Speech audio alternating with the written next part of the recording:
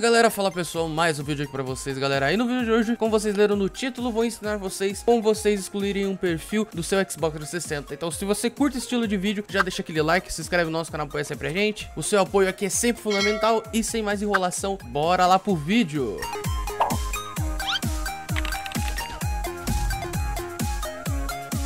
Seguinte então galera, o vídeo de hoje é muito simples, tá? Vocês vão ligar o videogame, logicamente, e vocês vão ir até a última página aqui, que vocês vão ver que tem aqui sistema. Vocês vão clicar em sistema, depois vocês clicam em armazenamento. Aqui no seu caso, se você tiver mais de um disco rígido, por exemplo, seu HD e um pendrive, clica aqui na primeira opção todos os dispositivos que também serve. E aí depois você vem aqui em perfil. Aí aqui você vai selecionar o perfil. Eu vou selecionar aqui o meu. Você clica nele. Depois de clicar nele, você vai clicar em excluir. E aí vai aparecer essa pergunta aqui. Você deseja excluir o seu perfil somente ou o seu perfil e todos os itens associados a ele. E aí você seleciona o que você quer fazer. Se você está formatando formatando para passar para frente, se você tá apenas querendo tirar a sua conta, tá? E aí você clica em um desses daqui. Por exemplo, eu vou excluir apenas o perfil. Vamos selecionar aqui excluir apenas o perfil.